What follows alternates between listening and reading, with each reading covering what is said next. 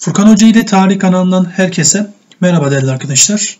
KPSS Orta Öğretim ve EKPSS adına güncel bilgiler videosu çekmeye devam ediyoruz. Bu 6. videomuz oldu değerli arkadaşlarım. İlk videodan itibaren e, dinlerseniz değerli arkadaşlarım e, sizler adına iyi olmuş olur. E, devam edecek değerli arkadaşlarım sınava kadar bu güncel bilgiler serisi. Hemen hiç vakit kaybetmeden ilk sorumuza başlamak istiyorum. 26 Ocak 2020 tarihinde Kaliforniya eyaletinin Calabasas kenti yakınlarındaki helikopter kazasında hayatını kaybeden NBA takımlarından Los Angeles Lakers formasını giyen ve Black Mamba, bakın bu önemlidir, e, lakaplı, dünyaca ünlü Amerikalı basketbolcu aşağıdakilerden hangisidir diyor değerli arkadaşlarım. 26 Ocak 2020 tarihinde e, helikopter kazasında e, ölüyor değerli arkadaşlarım. E, Black Bamba lakaplı bu dünya ünlü Amerikalı basketbolcu kimdir? E, Kobe Bryant'tır değerli arkadaşlarım. Cevabımız e, D şıkkı olmuş olacak. Bir diğer sorumuza bakalım. 15 Temmuz darbesine karşı direnişin başladığı bu nedenden dolayı ismi 15 Temmuz Şehitler Köprüsü olarak değiştirilen mimari yapı aşağıdakilerden hangisidir? Cevabımız ne olmuş olacak değerli arkadaşlarım? Boğaziçi Köprüsü olmuş olacak. Boğaziçi Köprüsü 15 Temmuz darbesine karşı direnişin başladığı yerdir. E, daha sonra bunun ismi 15 Temmuz Şehitler Köprüsü olarak değiştirilmiştir. Cevabımız B seçeneği olacak. Bir diğer sorumuza bakalım. 2019 itibarıyla Avrupa Merkez Bankası Başkanlığı'na seçilen bürokrat aşağıdakilerden hangisidir? Değerli arkadaşlarım e, bu tür başkanlara e, önem vermemiz lazım. Bunlar her an karşımıza soru olarak çıkabilir. Avrupa Merkez Bankası Başkanlığı'na 2019 itibariyle seçilen kişi kimdir değerli arkadaşlarım? Bürokrat e, Christian e, Lagarde'dir değerli arkadaşlarım. Burada cevabımız A şıkkı olmuş olacak. Bir diğer sorumuza bakalım. Time dergisi 1927 yılından itibaren her yılın sonuna seçtiği yılın kişisi için 2019 yılının sonunda aşağıdaki kişilerden hangisini seçmiştir diyor. Değerli arkadaşlarım burada seçilen kişi kimdir?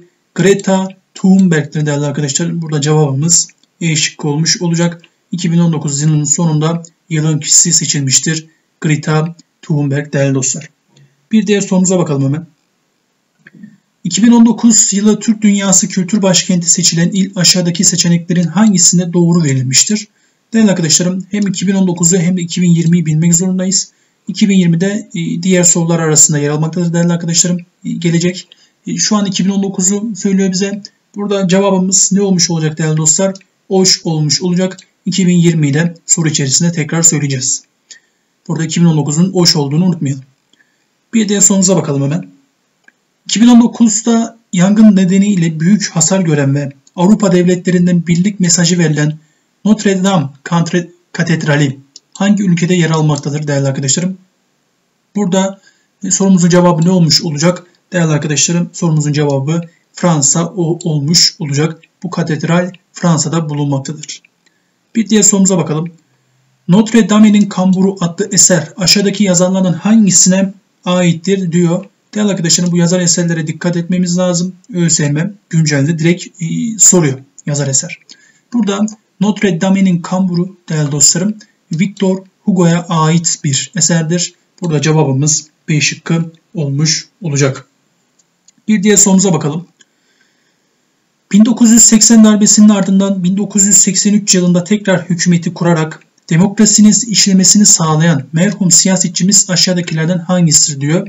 Değerli arkadaşlarım 80 darbesinin ardından 83 yılında e, tekrar hükümeti kurarak demokrasinin işlemesini sağlayan merhum siyasetçimiz Turgut Özal'dır değerli arkadaşlarım. Burada cevabımız Turgut Özal olmuş olacak. Bir diğer sorumuza bakalım hemen. Aralık 2019 itibar tarihinde suya indirilen Türkiye'nin yeni tip denizaltı projesinin ilk denizaltısı. Bakın bu önemlidir. İlkler her zaman önemlidir. Aşağıdakilerden hangisidir diyor. E, değerli arkadaşlarım e, ilk denizaltımız neydi? Piri Reis'ti değerli arkadaşlarım. Burada cevabımız Piri Reis olmuş olacak. Bir diğer sorumuza bakalım hemen. Birleşmiş Milletler Eğitim ve Kültür Örgütü yani kısaltılmışı UNESCO'dur. 2020 yılına hangi ismi vermiştir?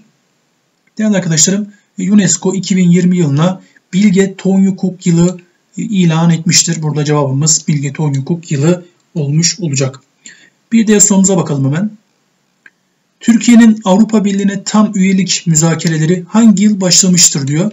Biz Avrupa Birliği'ne tam üyelik müzakerelerine değerli arkadaşlarım 2005 yılında başlatmış, başlatmış e, oluyoruz. Cevabımız D şıkkı olmuş olacak. Bir diğer sorumuza bakalım hemen.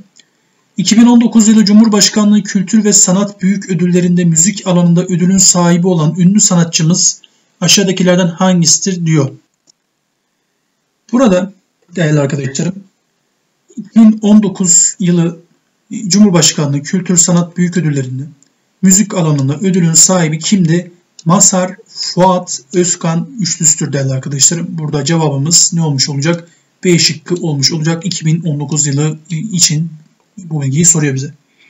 Bir diğer sorumuza bakalım hemen. Avrupa Birliği'ne 28. üye olarak kabul edilen ülke aşağıdakilerden hangisidir diyor. Değerli arkadaşlarım Avrupa Birliği'ne 28. üye kimdi? Hırvatistan'dı. Burada cevabımız Hırvatistan olmuş olacak. Bir diğer sorumuza bakalım hemen. Aralık 2019 tarihinde açılan ve İngiltere'de inşa edilen Avrupa'nın ilk çevre dostu camisi aşağıdakilerden hangisidir? Değerli arkadaşlarım ben bu soruyu beklerim. Bu soru önemlidir. E, Avrupa'nın ilk çevre dostu camisinin nerede olduğunu bilmek lazım. İngiltere'de. Bunu asla unutmuyoruz. E, caminin ismi de değerli arkadaşlarım Cambridge e, camidir. Burada cevabımız A şıkkı olmuş olacak. İngiltere'de yer almaktadır. Bir diğer sorumuza bakalım. Milgem projesi dahilinde inşa edilen Türkiye'nin ilk milli savaş gemisi aşağıdakilerden hangisidir demiş. Değerli arkadaşlarım Milgem projesini unutmayalım. Burada da e, Türkiye'nin ilk milli savaş gemisini soruyor. Heybeli Ada olmuş olacak. Türkiye'nin ilk milli savaş gemisidir. Heybeli Ada. Bir diğer sorumuza bakalım. Türk edebiyat akımının öncülerinden olan, milli şair ünvanına sahip olan ve Türk ocaklarının kurulmasında, bakın bu önemlidir, etkili olan kişi aşağıdakilerden hangisidir? Değerli arkadaşlarım, Türk Ocakları 1912 senesinde kuruldu. Hatırlayacağınız üzere. Burada milli şair ünvanına sahip ve Türk Ocakları'nın kurulmasında etkili olan kişi kimdir? Mehmet Emin Yurdakul'dur. Cevabımız değişikli olacak. Bir diğer sorumuza bakalım hemen. 1855 yılında Kudüs mikrobuna karşı açtığı savaşı kazanarak Kudüs aşısını geliştiren ünlü bilim adamı aşağıdakilerden hangisidir demiş. Burada değerli arkadaşlarım e, Pasteur'ü unutmayalım. Ancak e, şıklarda iki tane Pasteur var. Bunu nasıl ayırt edeceğiz? Değerli arkadaşlarım burada Louis'i bilmek zorundayız. Louis Pasteur'dur değerli arkadaşlarım cevabımız. E, cevabımız A şıkkı olmuş olacak bu şekilde. Bir diğer sorumuza bakalım. 2022'de düzenlenecek olan FIFA Dünya Kupası aşağıdaki ülkelerden hangisinden yapılacaktır diyor. E, gerçi 2020 değerli arkadaşlarım Avrupa Şampiyonası yapılmadı ancak 2022 yapılacak mı onu da futbol sever olarak beklemekteyiz. İnşallah yapılır diyelim. Burada 2022 FIFA Dünya Kupası değerli arkadaşlar e, Katar'da yapılacaktır. Cevabımız e, C şıkkı olmuş olacak. İnşallah da Türkiye'de e, bu kupada yer alır. Bir diğer sorumuza bakalım. Avrupa Birliği Komisyonu'nun verdiği resmi onayla Avrupa Birliği tarafından tescil edilen ilk Türk ürünü, bakın bu oldukça önemlidir.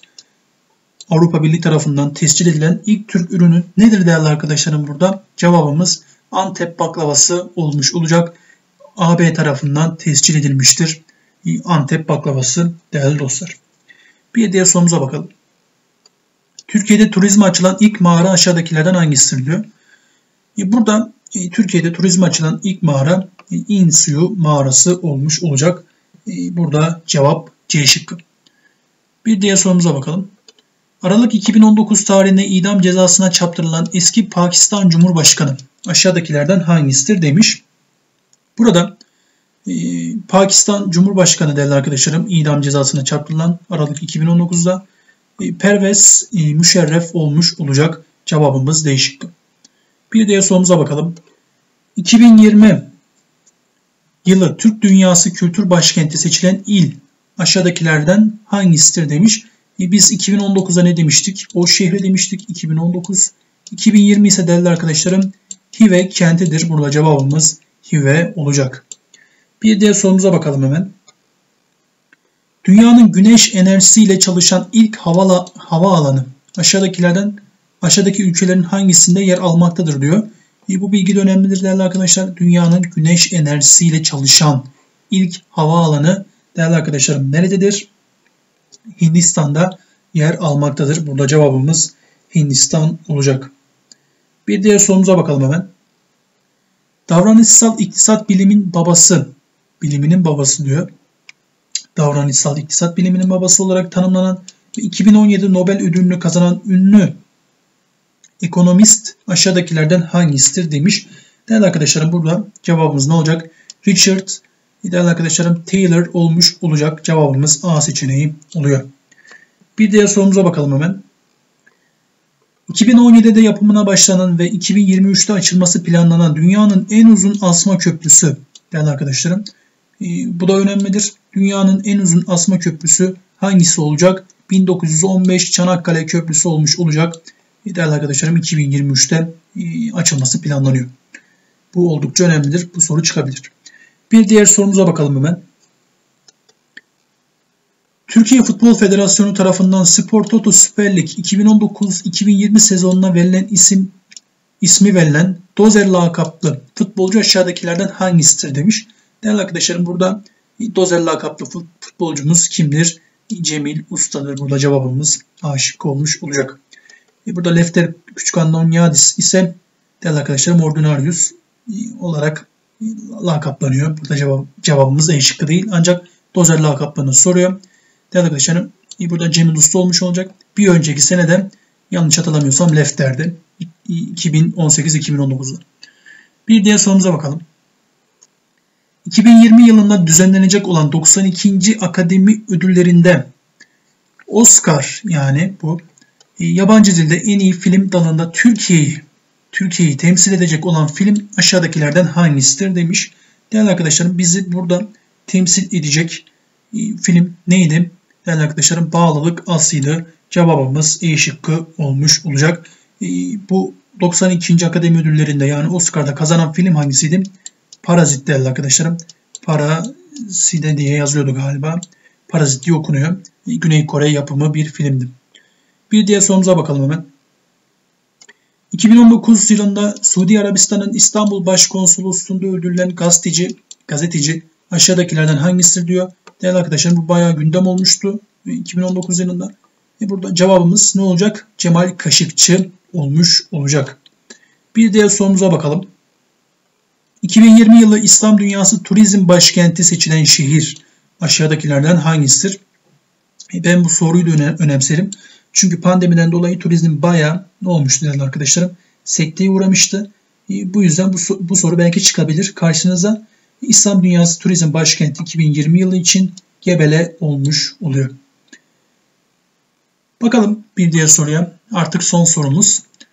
2019 Aralık ayında yapılan NATO zirvesi aşağıdaki ülkelerin hangisinde yapılmıştır diyor.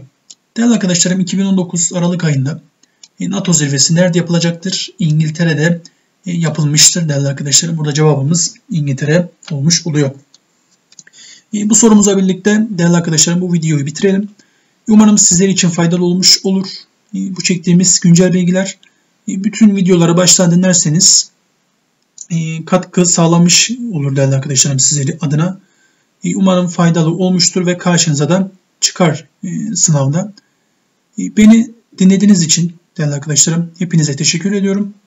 Bir sonraki videolarda görüşmek dileğiyle hepiniz sağlıcakla kalın, iyi çalışmalar diliyorum.